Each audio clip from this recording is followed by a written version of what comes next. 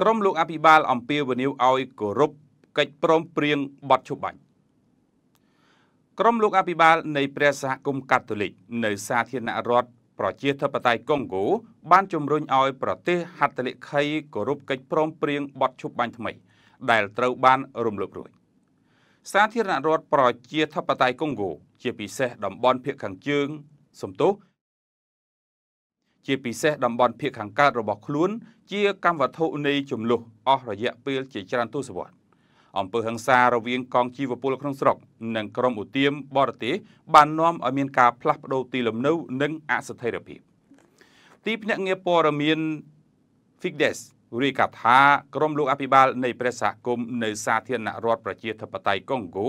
បានអំពាវនាវឲ្យមានសន្តិភាព និងការអនុវត្តបទឈប់បាញ់ដែលចុះហត្ថលេខានៅប្រទេសអង់ហ្គោឡាកាលពីថ្ងៃទី30ខែកក្កដាកិច្ចព្រមព្រៀងដែលចុះហត្ថលេខាដោយរដ្ឋាភិបាលកុងហ្គោនិងរវ៉ាន់ដាបានអំពាវនាវឲ្យមានបទឈប់បាញ់មួយត្រូវបានចូលជាធរមាន នៅពាក់កណ្ដាលអាត្រៀតថ្ងៃទី4ខែសីហាទោះបីជាយ៉ាងណាក៏ដោយក្រមលោកអភិបាលព្រះសហគមន៍កាតូលិកបាននិយាយថា ពួកគេមានការព្រួយបារម្ភថាបទឈប់បាញ់ថ្មីនេះប្រហែលជាមិនត្រូវបានគោរពពួកគេបាននិយាយថាកិច្ចព្រមព្រៀងពីមុនទាំងអស់ត្រូវបានរំលោភដោយគ្មានការប្រឹងប្រែងហើយរបាយការណ៍ផ្សេងផ្សេងអំពីរឿងនេះមិនបាននាំឲ្យមានការដាក់ទណ្ឌកម្មណាមួយឡើយរបាយការណ៍បាននិយាយថាក្រមឧទាមនៃចលនាថ្ងៃទី23ខែមីនា ដែលគេស្គាល់ថាជាកងទ័ពបដិវត្តកុងហ្គោត្រូវបានគេឃើញកាលពីថ្ងៃពុធ បានចល័តទ័ពចុះឡើងត្រឹមតែ3ថ្ងៃប៉ុណ្ណោះក្នុងបទឈប់បាញ់ជាពិសេសនៅខេត្តគីវូ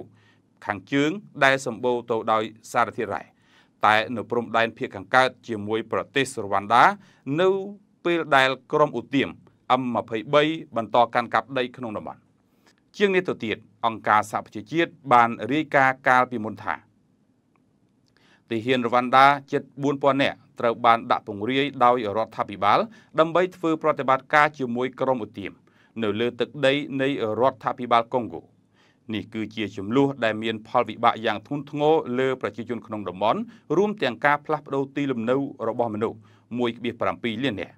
អង្គការសហប្រជាជាតិបានអះអាងថាមកទល់ពេលនេះការប៉ះទង្គិចគ្នាជាបន្តបន្ទាប់បានបណ្ដាលឲ្យមាន